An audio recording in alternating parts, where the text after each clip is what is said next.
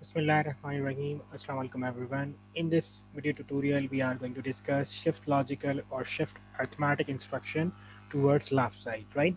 So first we need to know what is the key difference between uh, shift logical and shift arithmetic. Logical instructions consider the numbers or operand in binary format and they shift them logically, right? So basically they are shifting just number of bits. But what is the shift arithmetic instructions are doing?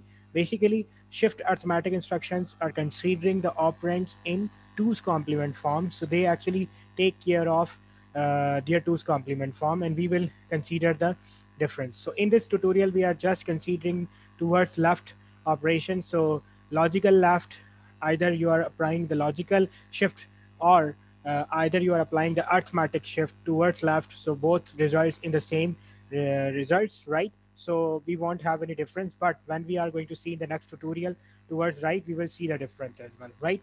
So SHL is basically what this is. Uh, this is SHL. SHL is what uh, logical shift left, and SAL is arithmetic left, right, or shift arithmetic left, right?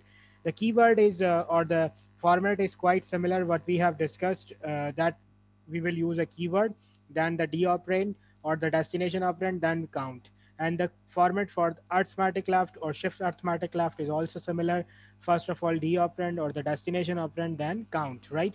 So what is going to happen? Let's see. Uh, we have taken example, move AX comma 7 FA4. So this A4 will be loaded in AX register. Then we are feeding the value of count, which is 0 to here in CL register, right?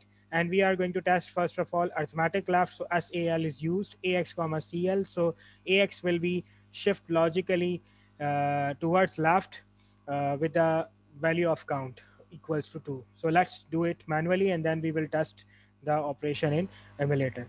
So ax value is what? 7f a4 so it will become 0 triple 1 uh, 4 times 1 1 0 1 0 for uh, what a and 4 will be what? 0 1 double 0 since we are going to shift left arithmetically or logically both will be similar. Uh, as i told you uh, so what is what is going to happen? Uh, we are shifting two numbers left side so basically these two numbers will get eliminated and the result will become 1 1 1 1 will be taken from the right side. Then 1 1 then what? 1 0 then 1 0 will remain then 0 1 will be taken from the right side 0 0 okay now we are remaining with the two vacant places. So what is going to happen? We will fill it with zeros only. So this is the magic or this is the difference between the rotate commands or shift commands. We have to fill numbers with the zeros right? While in case of rotate instructions we were putting from the left side. Okay so if we are going to convert it it will become what? F e 9 0 so this is the result we should expect either in case of logical shift or in case of arithmetic left shift right? So let's apply this instruction. Okay.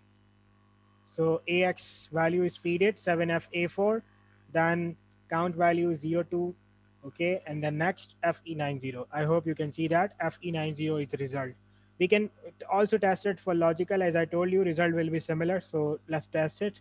Shift logically left.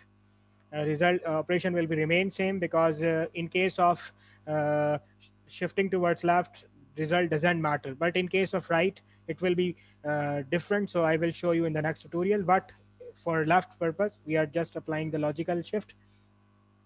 Okay. So 7f a4 is loaded. Then 02 is loaded with CX and FE90 after the shifting logically left by two units.